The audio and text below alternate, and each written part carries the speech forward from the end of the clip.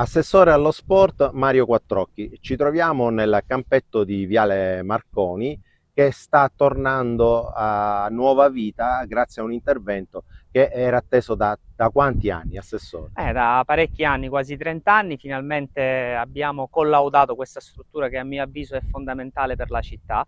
Ovviamente questo è un primo passo, come potete vedere il manto erboso sta cominciando a prendere forma, fra poco verranno installate anche le porte e verrà completata la, tutte le linee del campo. Siamo molto soddisfatti perché sarà una struttura fondamentale per i ragazzini, ovvio che è un primo passo, noi l'abbiamo collaudato, adesso verrà utilizzato dai ragazzini, gli interventi che dovranno essere fatti dopo saranno l'impianto di illuminazione e gli spogliatoi. Siamo molto contenti però perché sarà uno spazio aperto a tutti i giovani di Taormina. Ci troviamo ai piedi del Bacicalupo, cosa accade al Bacicalupo? A tal proposito ringrazio la ditta Anastasi perché proprio stanno lavorando su al campo dove verranno cambiate le reti di recinzione, il manto erboso, l'efficientamento energetico. La ditta Anastasi si è resa disponibile anche per questo intervento di trasferire il manto erboso sotto, quindi è stata un'operazione diciamo costo zero e quindi siamo molto soddisfatti perché fra poco ci saranno due strutture fondamentali per i nostri ragazzini.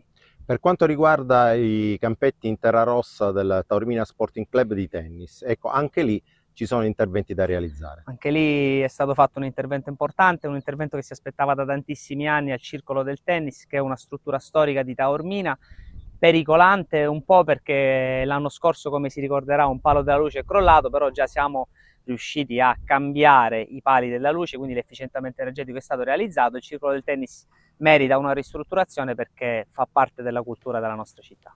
Ci saranno quindi altri interventi, Assessore? Sì, verrà sistemata un po' la terrazza, gli interni, i campi, insomma per il centenario del prossimo anno cercheremo di portarlo allo splendore, un circolo che fa parte, come dicevo prima, non solo della storia dello sport di Taormina ma proprio della cultura della nostra città.